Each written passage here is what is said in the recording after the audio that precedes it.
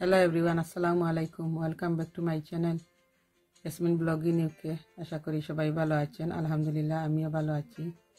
তো শুরু করছি আজ নতুন একটি রেসিপি আজকে আমি মোলা মাছ দিয়ে আমরা রান্না করব, আমরা টক। তো এখানে আমি পাঁচটা আমরা নিয়েছি আর এক প্যাকেট ফ্রোজেন মোলা মাছ। তো এই মাছ ফ্রোজেন ছিল, আমি এগুলোকে ডিফ্রস্ট করে ভালোভাবে কেটে পরিষ্কার করে নিয়েছি। এখন আমি আমড়াগুলো কুসা চাড়িয়ে নিয়েছি। কুসা চাড়িয়ে আমি মাঝে মাঝে কেটে দিয়েছি যাতে টক বের হয়।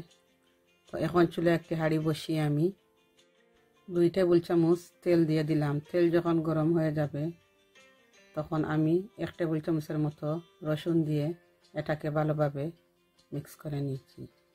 যখন আমার রসুন সামান্য হালকা ব্রাউন হয়ে আসছে তখন আমি দুই টেবিল চামচের মতো পেঁয়াজ দিয়ে দিলাম।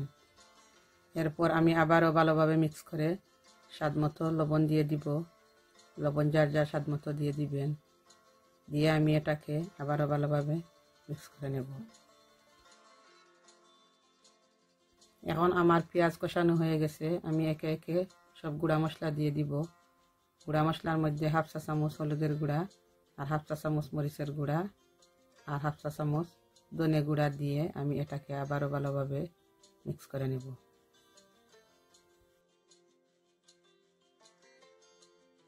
এখন আমার মশলা ভালোভাবে কষানো হয়ে গেছে। আমি এখানে হাফ কাপের মতো পানি অ্যাড করে আবারও নাড়াচাড়া করে রেখে দেব।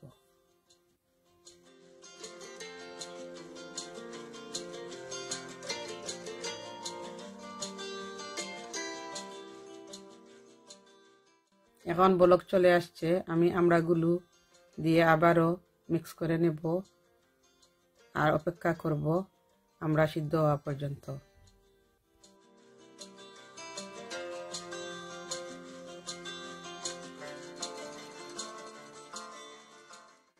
এখন আমি আবারও একটা চামচের সাহায্যে আমি আমড়াগুলোকে ভেঙে দিয়েছি যাহাতে টক বের হয়।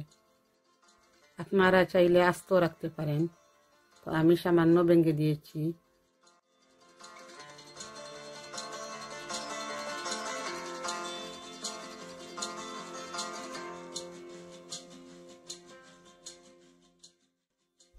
এখন আমার দুয়ে রাখা মাছগুলাও ঢেলে দিব। দিয়ে আমি এটাকে আবারও ভালোভাবে মিক্স করে ডেকে দেব। আর অপেক্ষা করব সব কিছু সিদ্ধ হওয়া পর্যন্ত।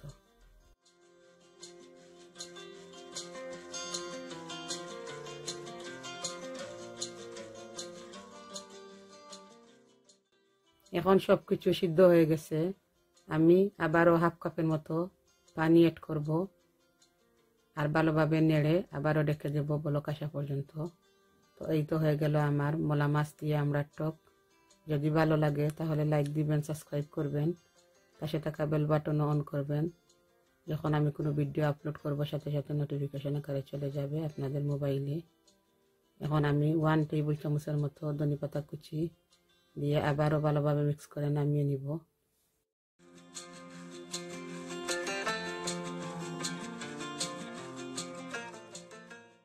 এখন আমি পরিবেশন করে দেখালাম কেমন হলো? তো আজ এই পর্যন্ত। সবাই ভালো থাকুন, সুস্থ থাকুন। আর আমার জন্য দোয়া করবেন, আপনাদের প্রতি রইল আমার অনেক দোয়া ভালোবাসা। আল্লাহ হাফেজ।